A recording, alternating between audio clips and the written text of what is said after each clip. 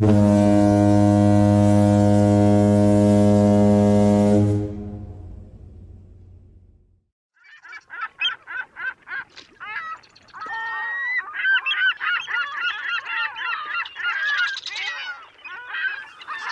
does Old Spice shaving mug soap and a can of coffee in today's supermarket. And Procter and Gamble have in common? Stay tuned for another of the continuing series of the history of shaving.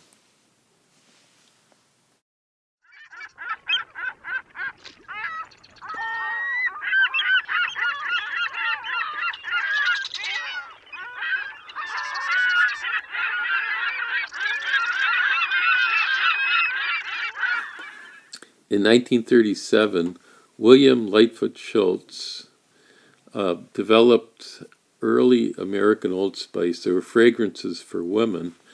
In the next year, 1938, he marketed an aftershave for men, which he just called Old Spice.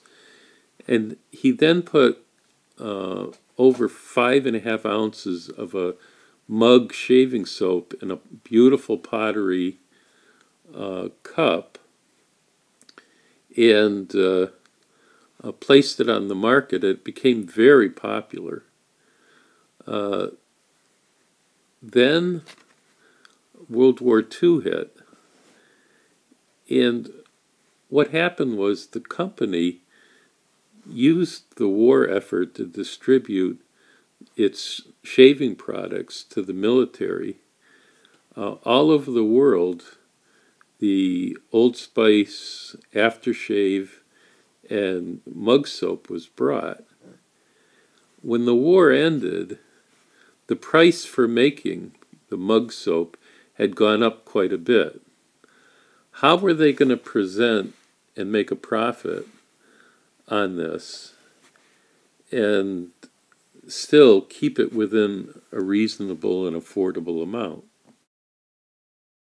If you remember in the 1980s and late 90s, the price for Arabica coffee beans skyrocketed. And what the coffee companies did was the pound of coffee soon became 14 and then 13 ounces in a can of coffee. This is how they were able to keep their product on the market at an affordable price. Well, Old Spice did the same thing back then. They introduced a glass, wheaten glass mug, and uh, now the amount was reduced to only five ounces of the shaving mug soap.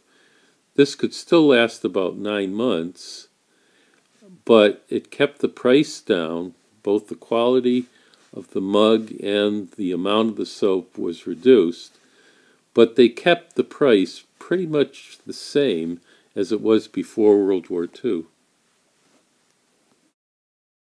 Then came the introduction of lathering and non lathering shaving creams and tubes, and more importantly, the aerosol can shaving cream. The aerosol can had propellants in it and a small amount of a petroleum based uh, lather, uh, there was actually less uh, uh, lather in in soap in this can, and when you used it, you were mostly using air, and the the shaving cream actually took up less materials to make. How could you get the public to buy less at, at a worse quality and pay more? Well, the answer was advertising. And they advertised uh, the, the can shaving cream quite a bit in a number of old commercials that you can still see on YouTube to this day.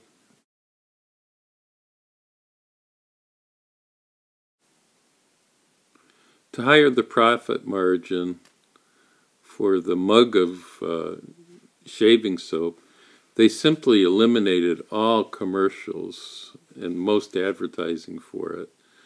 Um, and they reduced the amount again. Uh, and the refill uh, was really only 2.5 ounces. When Procter and Gamble took over um, Shulton and the Old Spice label, they wanted to get rid of really Old Spice as being your grandma's or grandpa's uh, products. So they just did away with the tradition of the shaving mug.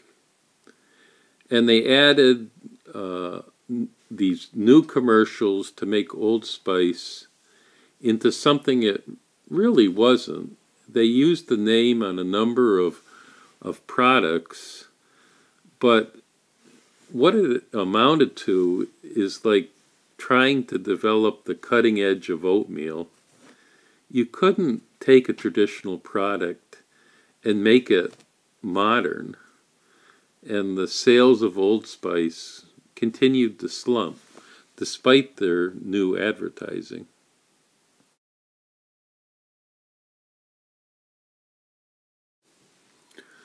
Believe it or not, in bending to the European and Asian market, Procter & Gamble still makes Old Spice shaving cream in India, but distributes it only in Europe and Asia. All Procter & Gamble seems to have accomplished is to destroy the American tradition of the Old Spice shaving mug and shaving soap and try to take an old uh, traditional aftershave name and market it as something it's not. It's like really putting a square peg in a round hole um, all the efforts of trying to keep um, the products affordable have only ended up with uh, the companies looking cheap and rather ridiculous. Um, the other day I was in the supermarket and that pound of coffee and that pound, which used to be 16 ounces, I saw a can of coffee and it was only 10 ounces.